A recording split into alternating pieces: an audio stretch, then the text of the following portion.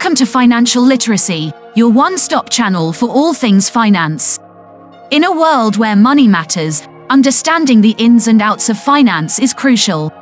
We're here to make that journey easier, enlightening you with knowledge that can shape your financial future. Today, we're delving into an intriguing topic the signs that suggest you might be part of the upper middle class. So, are you ready to decode your financial status? Strap in as we dive into the top 5 signs that you just might be in the upper middle class. The first sign that you're in the upper middle class is your income level. Now, what do we mean by a high income level? Well, it's not as straightforward as it may seem. High income level is a relative term and varies from one region to another and from one country to the next. For instance, in the United States, you're considered to be in the upper middle class if your household income is roughly between $75,000 and $100,000 a year, although this can vary depending on where you live. In contrast, in a country like India, an annual income of around $20,000 might put you in the upper middle class. It's important to note that these figures are not set in stone. They change with economic conditions, inflation rates, and cost of living adjustments. So if your income falls within these brackets, you might be in the upper middle class.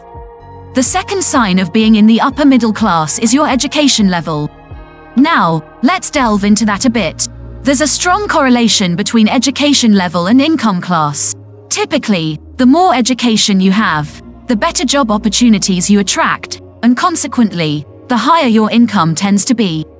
Consider this a person with a high school diploma might land a job that pays decently, but a person with a master's degree or a PhD is likely to secure positions that come with significantly higher paychecks. This isn't a hard and fast rule, of course, but it's a noticeable trend.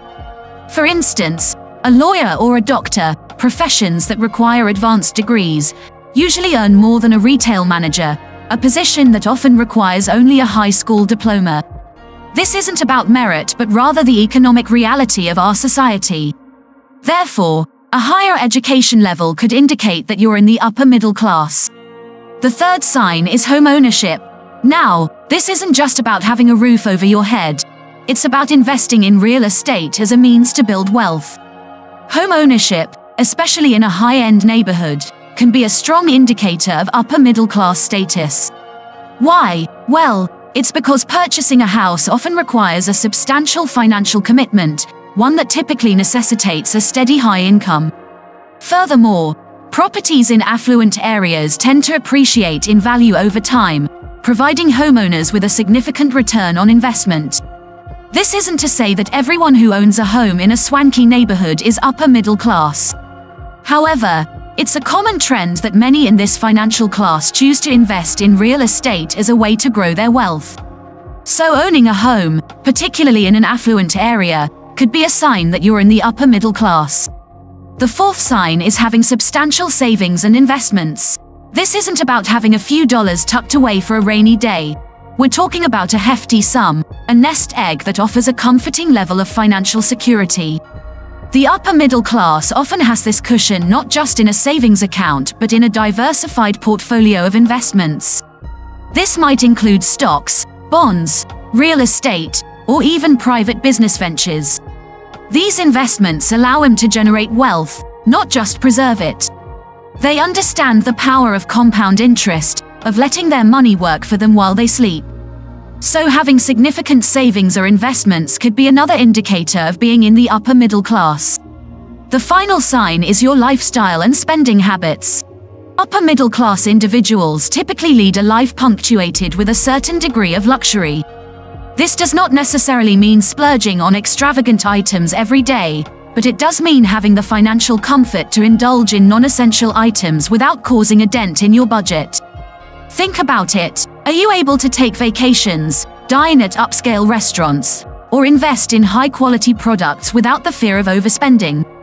Do you see yourself prioritizing experiences over material possessions? These aspects of your lifestyle can serve as indicators of your financial standing. In conclusion, your lifestyle and spending habits could also reflect your upper middle class status.